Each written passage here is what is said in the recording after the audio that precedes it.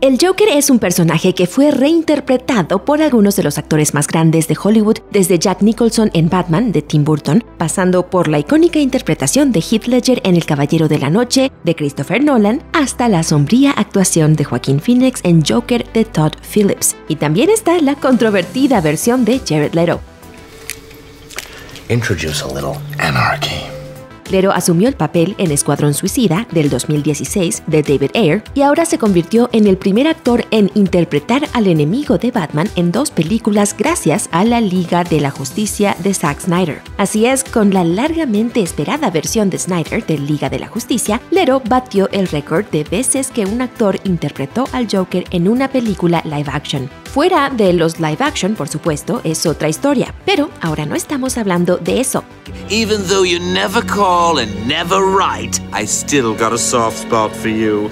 Estrenada en marzo en HBO Max, el Snyder Cut presenta al Joker de Lero por segunda vez, aunque con algunos ajustes. Este nuevo lanzamiento le dio a Snyder la chance de volver a tomar las riendas de la película del 2017, que fue regrabada y reeditada por Joss Whedon. El resultado fue una descomunal película de 242 minutos hecha a la medida de los deseos del director, incluyendo la inclusión de Lero. Pero su presencia en la película no era un hecho. Aquí te explicamos cómo fue que el Joker del Lero llegó una vez más a nuestras pantallas.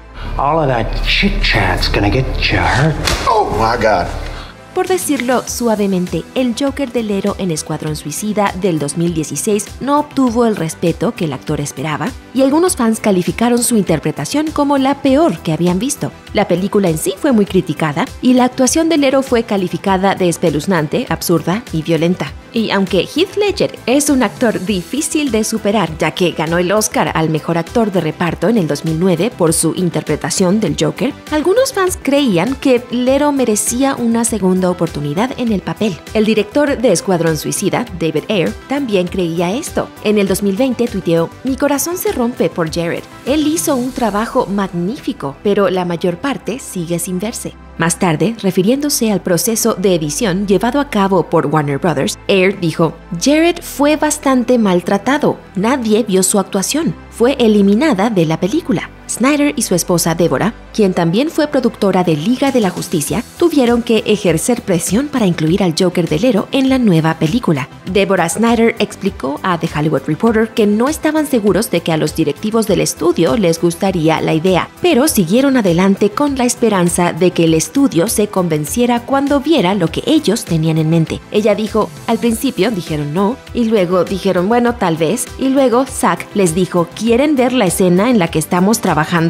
Pero está claro que tanto Lero como Snyder tomaron nota de las críticas de Escuadrón Suicida y modificaron el aspecto del Joker para el Snyder Cut. Lero, al igual que los demás actores que hicieron de este personaje, es un ganador de Oscar capaz de hacer un papel de formas diferentes, y en esta ocasión llevó al personaje a un lugar más oscuro. El Joker de Escuadrón Suicida tenía el cabello corto de color verde neón, rejillas en los dientes y el cuerpo lleno de tatuajes, pero el Joker de Liga de la Justicia emana una tristeza similar a las interpretaciones de Ledger y Phoenix y algunos lo comparan con Brandon Lee en El Cuervo. Su pelo es ahora largo y negro y de alguna manera sus tatuajes desaparecieron. En una entrevista con Stephen Colbert de The Late Show, Lero calificó su nuevo personaje como una evolución de lo que hizo antes y atribuyó los nuevos matices de su interpretación del Joker a la dirección de Zack Snyder. When you work with a different director, you bring out different things, so or they bring out different things in you.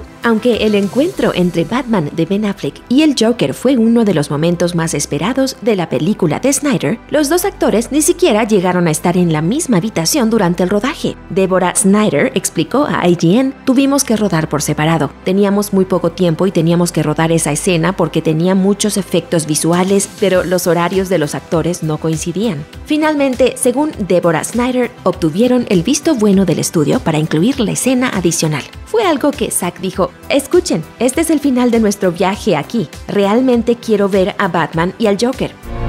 Careful.